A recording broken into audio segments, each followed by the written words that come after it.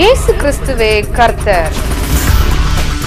ஸ்ரீ விஜயம் நூறு கிராம ஊழியம் வழங்கும் இயேசு கிறிஸ்துவின் சாட்சிகள்.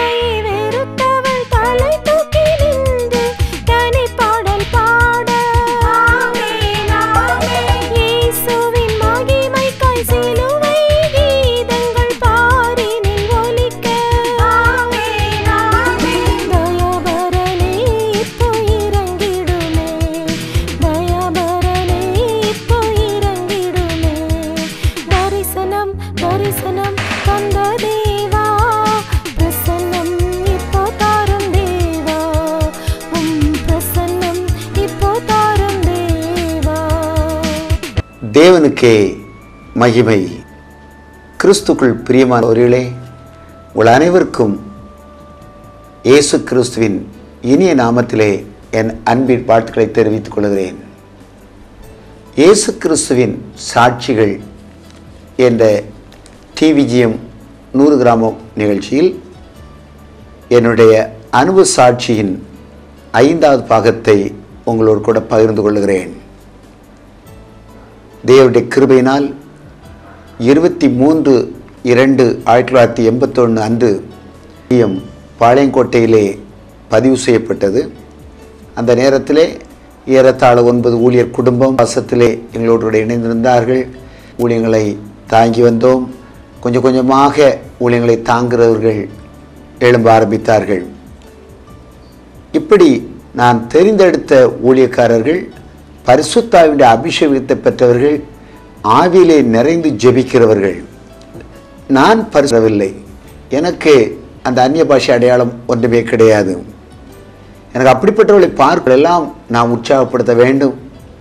வித்தியாசமானவர்களாய் இருக்கிறார்கள் என்று சொல்லி. தேவடைய கிருவினாலே என்னுடைய மூத்த சோரன் பிவிஎஸ் ஜெயராஜ் அவர்கள் என்னிடத்தை ஒரு நாள் கேட்ட நீ அபிஷேகம் பெற்ற ஊழியக்காரர்கள் எல்லாம் எடுத்து அவர்களுக்கு உதவி செய்து ஊழியத்தை ஊக்குவிக்கிறாய். ஆனால் நீ அபிஷேகம் பெறவில்லை. நீ அபிஷேகம் பெற வேண்டும் என்று கேட்டார்கள். முதலாவது கேட்டார்கள் "நீ ஞானிக்கிறாயா?" நான் ஆம் என்றேன். நான் வேலை பார்க்கிற காலத்திலேயே மதுரையிலே அசம்பிளி சாப்பாடு சபையிலே நான் ஞானஸ்தானம் பெற்றேன் என்று சொன்னேன். அபிஷேகம் பெறவில்லை. சென்னைக்கு வா. பாஸ்டர் சாம் சுந்தரம் ஐயா என்று ஒருவர் இருக்கிறாங்க. அவங்க அபிஷேகத்தில் நடத்துகிற ரொம்ப கிருபை பெற்றவங்க. அவங்கள பார்த்து நம்ம காரியங்களை பகிர்ந்து கொள்வோம் என்று சொல்லி நான் சரி என்று சென்னைக்கு சென்றிருந்தேன். ஒரு குறிப்பிட்ட நாள் அவரிடத்தில் போயிருந்தோம்.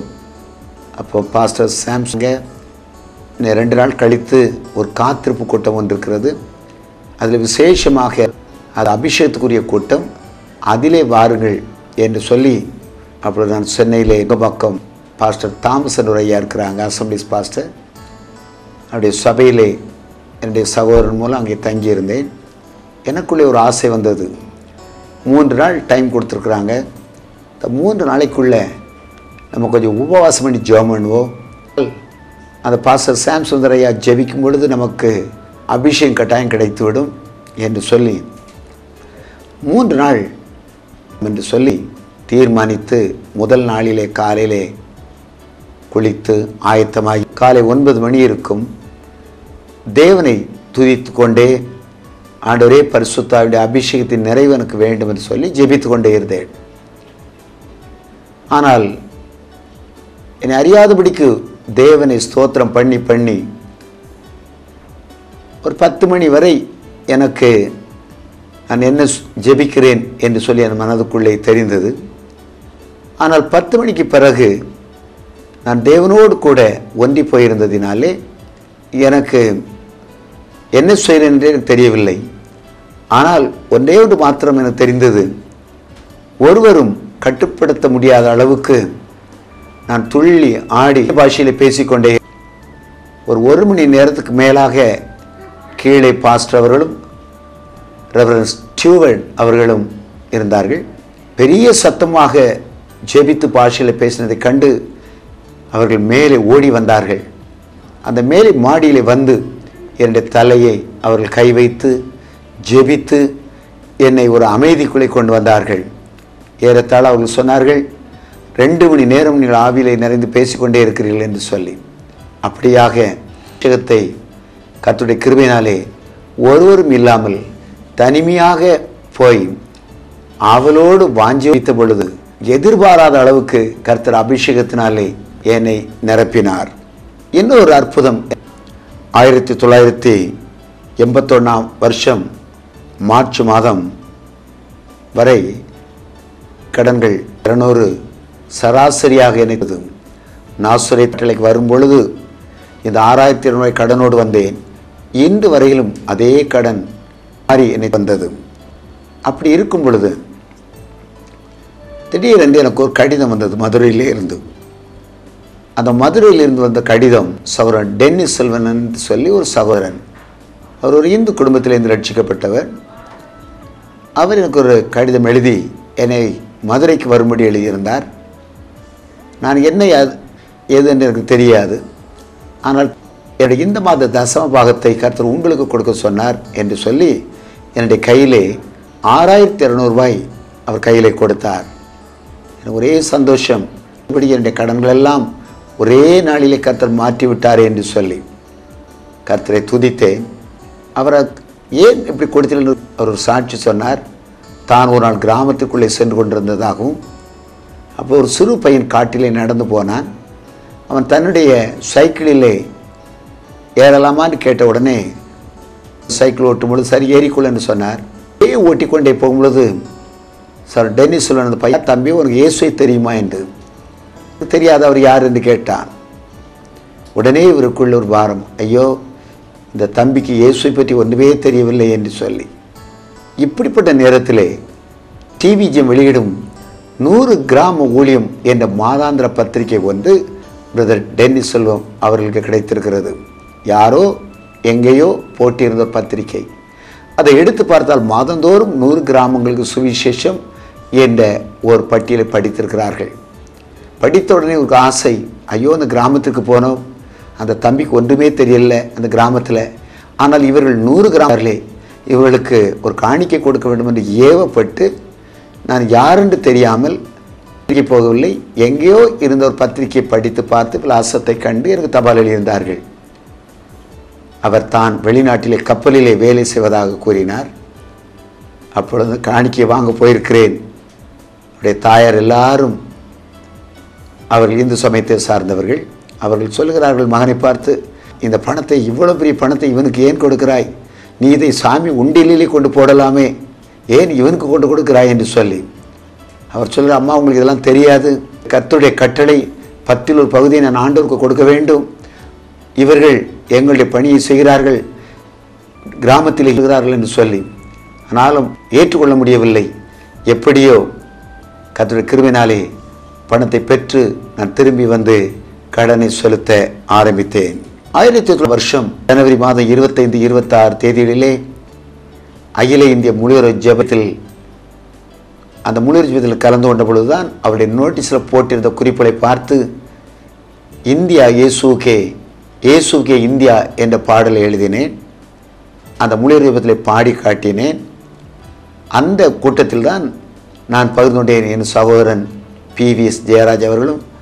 நானுமாக சேர்ந்து கடற்கரையிலே கோடாவிளை கடற்கரையிலே ஒரு கூட்டம் ஒழுங்கு செய்ய போகிறோம் ஜெபியுங்கள் என்று சொல்லி.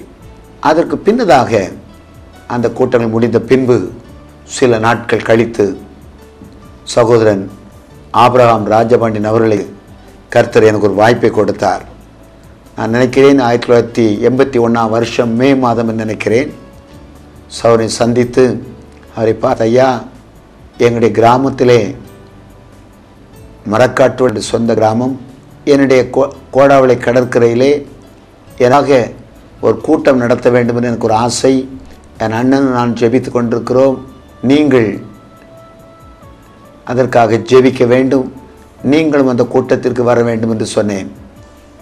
அப்பொழுது அவர்கள் சொன்னார்கள் என்னை பார்த்து நீ யாருடைய மகன்? என்று கேட்டார்கள். நான் இப்படி பொன்சாமி வாத்தியார் மகன். ஐயா நான் மதுரையிலே உன்னுடைய பக்கத்தில் உள்ளவன் தான். நம்ம ரெண்டு பேரும் சொக்காரங்க தான். நீ என்னுடைய உறவினன் தான் என்று சொல்லி நம்முடைய ஊர் கடற்கரையில் நீ கூட்டம் நடத்துவாயானால் அந்த ஊரை சுற்றிலும் ஒரு நூறு கிராமத்துடைய பேரை எழுதி வச்சுக்கொள். வெள்ளி சனி ஞாயிறு கூட்டத்தில் வெள்ளிக்கிழமை கூட்டம் முடிஞ்ச பிறகு சனிக்கிழமை பகலில் கூட்டம் வேண்டாம். கூட்டத்துக்கு வந்திருக்கிற டீமாக பிரித்து கட்டிச்சோர் கையில் கொடுத்து அவர்களை நம்முடைய ராதாபுரம் யூனியனை சுற்றிலும் சுவிசேஷம் அறிவிக்க அனுப்புவோம். ஏதோ ஒருவர் கொடைக்கானலிலே பல ஆள் ஒருமுறை இப்படி செய்து நல்லா இருந்தது. ஆனால் பின்வரும் நாட்களிலே அவர் அதை செய்யவில்லை என்று சொல்லி அப்பொழுது சௌர் ராஜபண்ணன் அவர்கள் ஒரு நூறு கிராமத்தினுடைய சொன்ன அந்த காரியம் உள்ளத்திலே பதிந்து. அப்பொழுது அவரிடத்தில் கேட்டேன் அண்ணே இந்த கடற்கரை முகாமுக்கு என்ன பெயர் கொடுக்கலாம்னு கேட்டேன். நடந்த கலீலியா கடற்கரை முகாம்னு போய் கலீலியா கடற்கரை முகாம்னு பெயர் கொடுன்னு சொன்னார்கள். அன்றையிலிருந்து இன்று வரையிலும் இந்த கலீலியா கடற்கரை முகாமை கட்ட நடத்த உதவி செய்திருக்கிறார். நூறு கிராமம் கண்டுபிடின்னு சொன்னாங்களே அதைத்தான் இன்றைக்கு நூறு கிராம ஊழியம் என்று முப்பத்தி மூன்று ஆண்டுகளாக செய்வதற்கு கர்த்தர் உதவி செய்திருக்கிறார். அப்போது ஆப்ரா ராஜபண்டியன் சொல்லிட்டாங்க எனக்கு இதை எப்படி ஆர்கனைஸ் பண்ணுவது? எல்லாம் ஒன்று தெரியல. நூறு கிராமத்தை என்ற மரக்காட்டு வழியிலேயே சோதனை இருந்தார். என்ற ஒரு உறவினர் தான். அவர் நான்மாக ஒரு சைக்கிளை எடுத்துக்கொண்டு தோப்பு விலை சங்கனாபுரம் ராதாபுரம் என்று சொல்லி சைக்கிளிலே போய் நம்ம கிராமமாக ஒரு இருபத்தைந்து கிலோமீட்டருக்கு அதிகமாக சைக்கிளை ஓட்டி ஒவ்வொரு ஊராக போய் கிராமத்தை கொண்டு வந்தோம்.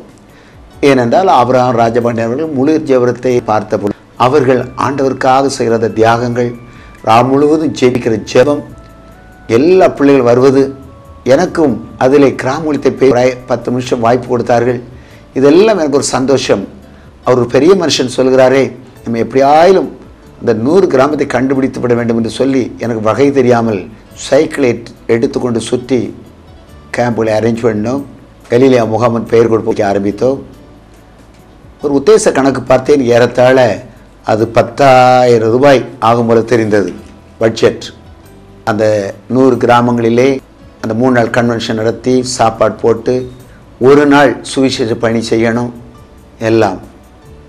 அப்போ ஊழியக்காரருக்கு நாம் உணவு கட்டணம் வைக்கலாம் என்று சொல்லி தீர்மானித்து கொண்டோம். தேவடைய கிருவினாலே எல்லாம் ஒழுங்கு செய்தேன்.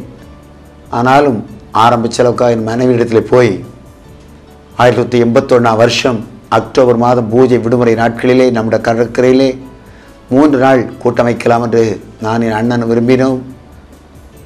ராஜபண்டி அண்ணன் முளியர்ஜிபத் காரியத்தை சந்தித்தேன். அவர்கள் நூறு கிராமத்திலே வந்திருக்கிறவங்களெல்லாம் ஊழி சேவை போம் சாப்பாடு கொடுத்து விடுவோம் என்று சொன்னார்கள் என்று சொன்னேன். அவள் ஒரே கவலை இந்த நாமே இருக்கிறோம். இப்போ தான் ஆறாயிரத்தி இரநூறு கடன் முடிந்தது. அதுக்குள்ளே புது கடன் ஆரம்பிச்சிட்டிங்களா? என்று பட்ஜெட் எவ்வளோ பத்தாயிரம். அவர்கிட்ட கேட்குறேன் உன் கையில் இருக்கிற மூ அவர்கிட்ட இருக்கிற மூன்று தங்க காப்புகளை கொடு. நான் அதை ஒரு ஐயாயிரம் ரூபாய்க்கு அடமானம் வைத்து பேங்கிலே கடன் எடுத்துக்கொள்கிறேன். இந்த கூட்டம் முன் பணம் வந்துவிடும். அப்பொழுது காணிக்கலை நான் உங்களுக்கு தந்து விடுகிறேன் என்று சொல்லி அவளை நயங்காட்டி அந்த மூன்று காப்புகளை வாங்கி பேங்கில் அடமானம் வைத்து என்னுடைய மன விருப்பத்தின்படி எல்லாம் செய்ய ஆரம்பித்தேன். வால் போஸ்டர் அடிக்கணுமா? எல்லாம் போட்டு சின்ன சின்ன நோட்டீஸ் முதலாவது அடிக்காது போஸ்டரில் நான் அடிக்கலை. சின்ன ஜெப குறிப்புகளெல்லாம் போட்டு அடிக்க ஆரம்பித்து விட்டேன். ஒரு நாள் கடற்கரையில் உட்கார்ந்து ஜெபித்து கொண்டே இருக்கிறேன். ஆண்டவரே நூறு கிராமத்தில் கைப்பிரதி கொடுத்து ஒளிஞ்சுன்னுட்டு இந்த மூலியர் செக்ரட்டரி சொன்னாங்க போய் வாங்குவேன். இந்த ஊழியக்காருக்கெல்லாம் சாப்பாடு கன்வென்ஷனுக்கு எப்படி சாப்பாடு நடத்துவது என்றெல்லாம் பலவாறு யோசித்து கொண்டே இருக்கிறேன்.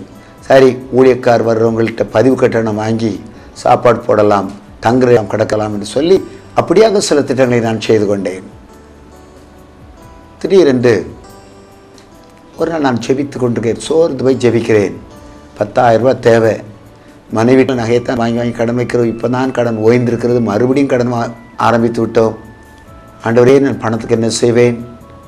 எப்படி இந்த ஊழியத்தை நான் நடத்துவேன் என்று என்னோடு கூட ஒரு சகோதரன் ஜெபித்து கொண்டதால் அவர் ஜெபித்து முடித்த உடனே இந்த பத்தாயிரம் ஒரு பெரிய காரியம் அல்ல கொடைக்கானலே அஷ் ஊழியக்காரர் இருக்கிறார் ஒரு ஆங்கிலோ இந்தியன். அவரை நீ இந்த கூட்டத்திலே செய்தி கொடுப்பதற்கு அழைத்தால் அவர் போகிற இடங்களெல்லாம் கன்வென்ஷனுக்கு அந்த முழு செலவையும் அவர் கொடுத்து விடுகிறார். உனக்கு பத்தாயிரம் ரூபாய் ஒரு எளிது கவலையே நீ பட வேண்டாம் தந்து விடுவார் என்று சொல்லி. எனக்கு ஒரே சந்தோஷம் ஆண்டவரையே நான் ஜெபித்ததுக்கு ஒரு பதில் வந்துவிட்டது என்று சொல்லி அவருடைய அட்ரஸை வாங்கி கொண்டு நான் ஓடோடி சென்றேன் கொடைக்க அவரிடத்தில் எழுதி அப்பா எங்க போயிருக்கிறேன் போன உடனே நான் இப்படி சொன்னேன் எங்கள் ஊரில் கடக்கில் மீட்டிங் வைத்திருக்கிறோம். நீங்கள் செய்தியாளராக வர வேண்டும் என்று சொன்னேன். சந்தின்னு சொல்லிவிட்டார். கொடைக்கானலில் காரில் எங்கேயுமா சுற்றி காட்டுகிறார். நான் சொன்னேன் ஐயா இதே ஊரில் தான் ஒரு நாளில் நான் ஹோட்டலில் வேலை செய்தேன். இன்றைக்கு ஒரு ஊழியக்காரனாக ஒரு கூட்டம் வைப்பதற்கு நீங்கள் செய்தியாளராக வருகிறீர்கள் என்றெல்லாம் மகிழ்ச்சியோடு பேசி பல இடங்களை அவர் சுட்டி காட்டினார் எனக்கு கை செலவுக்கு பணம் கொடுத்தார். வைத்தார் ஊருக்கு வந்தேன். நோட்டீஸ் அடிக்கும் பொழுது என் அன்பு சௌரா ராஜபாண்டியன் பெயரையும் அசோக் பத் அவர்களின் பெயரை போட்டு அநேக ஆயிரக்கணக்கான நோட்டீஸ்கள் அடித்து பால் போஸ்டர்கள் எல்லாம் அடித்து அவருக்கு அனுப்பி வைத்தேன். கூட்டம் நடக்க இன்னும் ரெண்டு நாள் தான் இருக்கிறது. அந்த அசோக் பத ஊழியக்காரர் அவர் இப்பொழுது இல்லை. அவர் எனக்கு ஒரு கடிதம் எழுதியிருக்கிறார். என்ன கடிதம்? நான் உன்னுடைய கூட்டத்திற்கு வர முடியாது. ஏனென்றால் சின்ன ஊழியக்காரரை நோட்டீஸ்கிறாய் ஆனாலே வர முடியாதுன்னு எழுதிவிட்டார். எனக்கு நூறாக நொறுங்கி போனது. பத்தாயிரம் ரூபாய் கிடைக்கும்னு சொல்லி ஆசையோடு எதிர்பார்த்தோம் ஜெபித்தோம். ஜெபித்த பொழுது தானே ஒரு ஊழியக்காரர் இப்படி சொன்னார். இவர் சரின்னு சொன்னார் எவ்வளோ சந்தோஷமாக நீ கொடைக்கானல் சுற்றி காட்டினார். இந்த நோட்டீஸில் இன்னொரு பேரை போட்டது இல்லைன்னு சொல்லிட்டாருன்னு சொல்லி எனக்கு ஒன்றுமே ஓடாது. ரெண்டு நாள் தான் இருக்கிறது யார் பேரை கொண்டு நான் போடுவது? யாரை செய்தியாளராக போடுவது? ஆப்ராம் ராஜபண்டன் சும்மா போட்டிருக்கேன் ஒரு நாளைக்கு அவ்வளோதான் அவங்க எப்படி பேசுவாங்கன்னு தெரியாது. முழு ஜபத்தை நடத்துவதை நான் பார்த்துருக்கிறேன். ஆனால் அவர்கள் கன்வென்ஷன் பிரசங்கம் பண்ணுவாங்களா இல்லைன்னு எனக்கு தெரியாது. ரொம்ப சோர்ந்து போனேன். ஓடி போனேன். மதுரைக்கு மறுபடியுமாக ஓடிப்போய் ஸோ ஆபரம் ராஜபண்ணி சந்தித்தேன். ஐயா என்னுடைய நிலைமை இப்படி ஆகிவிட்டது. கூட்டத்திற்கு போட்டு வால் போஸ்ட் எல்லாம் போட்டு கொடுத்து விட்டோம். ஆனால் இந்த ஊழியர் வரமாட்டேன்னு சொல்லி எழுதியிருக்கிறாங்க. நான் திரும்பி ஃபோன் அடித்து கேட்டு கெஞ்சி பார்த்தேன். அவர் வரமாட்டேங்கிறாரு. என்ன செய்கிறது அப்போ ராஜபண்டி அண்ணன் சொன்னாங்க ஒன்றும் கவலைப்பட நாங்கள் பார்த்துக்கணும் சிஸ்டர். அனுஷியான்னு ஒரு சிஸ்டர் நல்ல தீச்சட்டி எடுத்து ஆடுறவங்க. அவங்க கருத்தருக்குள்ளே வந்திருக்கிறாங்க. ஒட்டஞ்சத்திரத்தில் சந்திரன் பிரதற்காக நல்லா பேசுவாங்க. நான் நிறைய பேர் கூட்டிகிட்டு வந்துடுறேன் நாங்கள் பார்த்துக்கணும் மூணு நாள் நீ கூட்டத்தை பற்றி கவலைப்படாதன்னு சொல்லி. அப்போ தான் என் தைரியம் வந்தது. வீட்டிற்கு வந்தேன். வெள்ளிக்கிழமை கூட்டம் மிகவும் அழகாக இருந்தது. மறுநாள் காலையில் ஏறத்தாழ எழுபத்தைந்து பேருக்கு அதிகமாக ஊழியத்துக்கு வந்தாங்க. எல்லாருக்கும் பதிவு கட்டணம் வைத்திருக்கிறோம். எல்லார் கையிலும் சாப்பாடு தயார் பண்ணி சொன்னாங்க.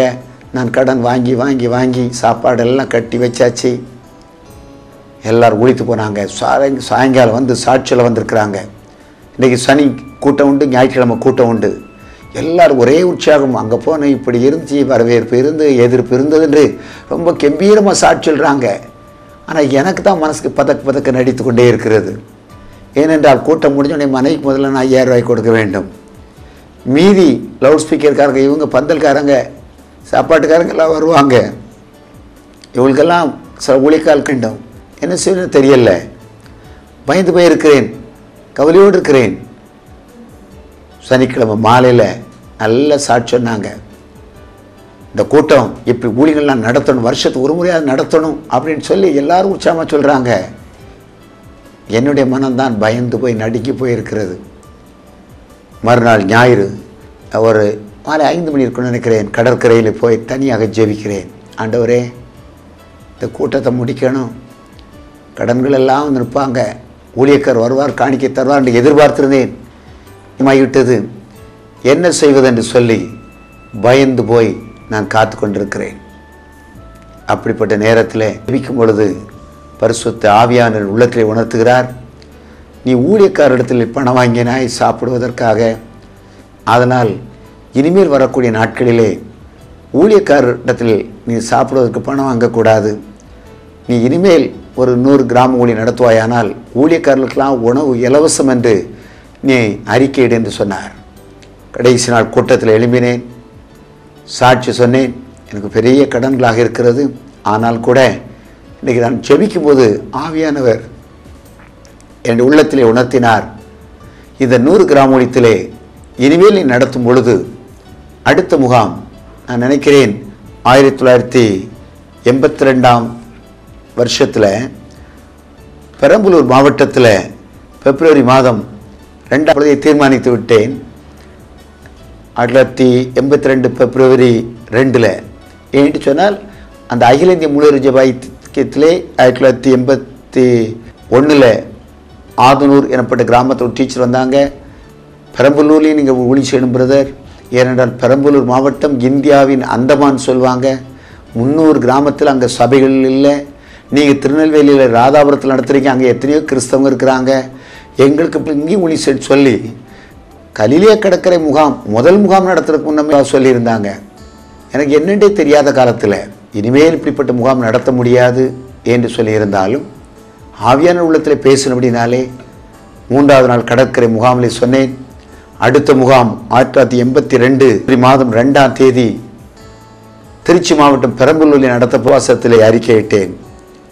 எல்லாருக்கும் ஒரே கவலை என்னோடு கூட நேசிக்கிறவங்க இங்கே இவ்வளோ கடன் வைத்துக்கொண்டு இனிமேல் என்ன ஊழியத்தை செய்ய போகிறாய்ன்னு சொல்லி. ஆனாலும் எனக்கு ஊழியம் செய்யணும்னு சொன்னால் ஒரு தாகம் பெருகுது. இவ்வளோ நாள் கிராம ஊழியக்காரர் அனுப்புன்ற எனக்கு ஒரு சேஞ்ச் ஏற்படுது. இந்த சுவிசேஷம் சேர்த்துவது எல்லாரும் சாட்சி சொல்கிறது கேட்டபோது தான் எனக்கு அந்த ஆர்வம் வந்தது.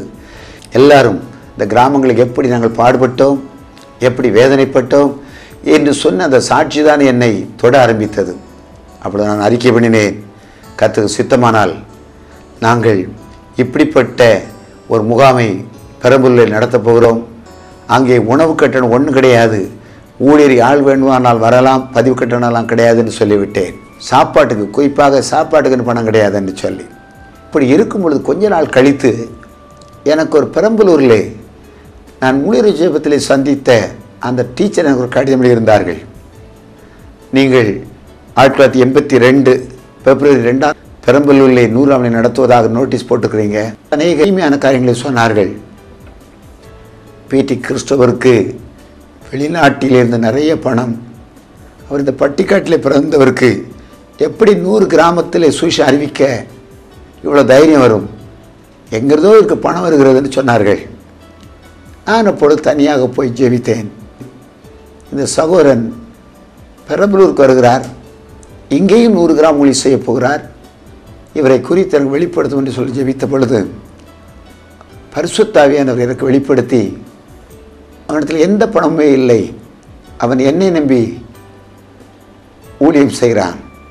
ஆதலால் அந்த கூட்டத்திலே அந்த நூறு கிராமத்து வருபவர்களுக்கும் மற்றவர்களுக்கும் நீ ஆயிரம் பேருக்கு அரிசி இலவசமாய் கொடு என்று ஆண்டவர் என்னோடு பேசினார். ஆதலால் பெரம்பலூர் மாவட்டத்திலே நீங்கள் நூறு கிராம் ஊழியம் நடத்தும் பொழுது ஆயிரம் பேருக்கு நான் அரிசி கொடுப்பேன் என்று அவர்கள் எனக்கு எழுதியிருந்தார்கள். அது என் வாழ்க்கையிலே ஒரு பெரிய விசுவாசத்தை தூண்டிவிட்டது. நூறு கிராம ஊழிய என்ற ஒரு திட்டத்தை கர்த்தர் கொண்டு வருகிறார் என்பதை இந்த சாட்சியின் மூலமாக கர்த்தர் என்னோடு கூட உணர்த்த ஆரம்பித்தார். ஆனால் அந்த கூட்டம் நடந்தது. ஒரு பதினேழு பேர் தான் உழித்து வந்தார்கள் நினைக்கிறேன். மூன்று நாட்கள் அவர்களுக்கு சாப்பாடு கட்டி கொடுத்து ஒழித்து முடித்தோம். கஷ்டமில்லாமல் ஒழித்து முடித்து விட்டோம்.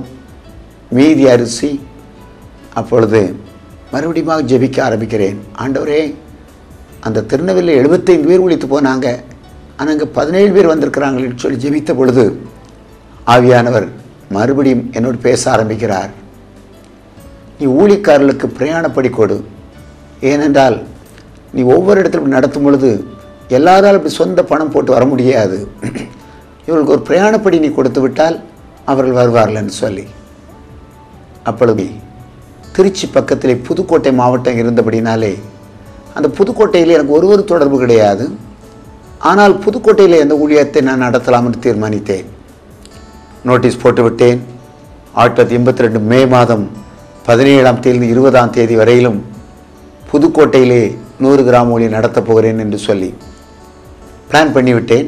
பெரம்பலூர் நூறு கிராம் ஒளியத்திலே அறிவிப்பு கொடுத்து விட்டேன். ஆனால் எங்கே போய் எப்படி செய்வேன்னு எனக்கு தெரியாது. திருச்சிக்கு வந்தேன். புதுக்கோட்டை நோக்கி போகிறேன். அடுத்த முகாம் ஒழுங்கு செய்ய வேண்டும். எப்படி பிரயாணப்படிகள் கொடுப்பது? உணவு காரியங்களை ஒழுங்கு செய்வது? எல்லாவற்றையும் நான் யோசித்து ஜெபித்து கொண்டிருக்கிறேன். சரி முதலாவது ஒரு நூறு கிராமத்தை எங்கே கண்டுபிடிப்பது? பழையதுக்காவது ஆதனூர் டீச்சர் சொன்னாங்க நீங்கள் வாங்கன்னு சொன்னாங்க. ராதாபுரம் என் சொந்த ஊர் கண்டுபிடிச்சிட்டேன்.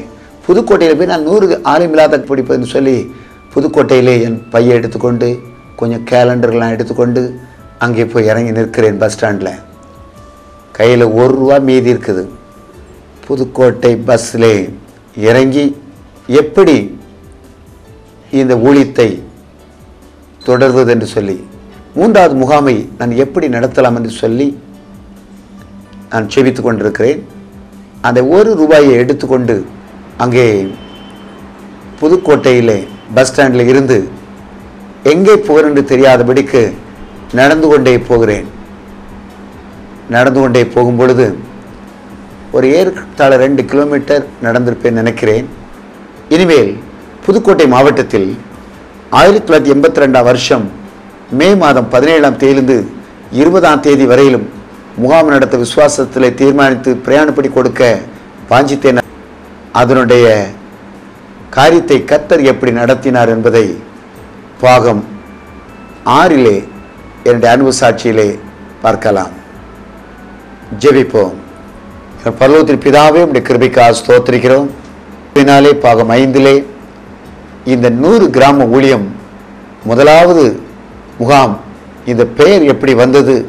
கலீலியா கடற்கரை முகாம் என்ற பெயர் எப்படி வந்தது? அடுத்த ரெண்டாவது முகாமை எப்படி செய்ய வேண்டும் என்ற ஆசை வந்தது? நூறு கிராம ஊழிய திட்டம் எப்படி உணர்ந்த இந்த சாட்சிகளெல்லாம் பகிர்ந்துள்ள கத்த உதவி செய்தீர்? உமக்கு ஸ்தோத்திரம். ஆண்டவரே இந்த சாட்சி கேட்கிற பிள்ளைகளுக்கும் தங்களுடைய ஊர் பகுதிகளிலே ஆண்டவருக்காக ஏதாவது ஒன்று செய்யணும் பக்கத்து மாவட்டங்களிலே கர்த்தருக்கு ஏதாவது ஒன்று செய்ய வேண்டும் என்ற ஒரு புதிய தரிசனத்தை பெற்றுக்கொள்ள பரிசு தாவியானவர் உதவி செய்யுமாறு ஜெபிக்கிறோம். நீர்வே பேசும் தேசங்கள் தரிசனங்களால் நிரப்பப்படட்டும். தரிசனத்தினாலே பிள்ளைகளை நிரப்பும். ஆசீர்வதியும். எல்லா துதியும் கனமும் மகிமையும் செலுத்துகிறோம். ஏசு ஜபி. ஆமேன். ஆமே தேவனுக்கே மகிமை. ஆயிரம் ஆயிரம் கிராமம் இயேசுவை அறியாதோர் கோடி உண்டு. ஆயிரம் ஆயிரம் கிராமம் உண்டு. இயேசுவை அறியாதோர் கோடி உண்டு.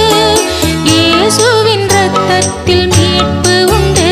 இதை அறிவிக்க எனக்கொரு பங்குண்டு. இயேசுவின் தத்துவத்தில் மீட்பு உண்டு. இதை அறிவிக்க எனக்கொரு பங்கு.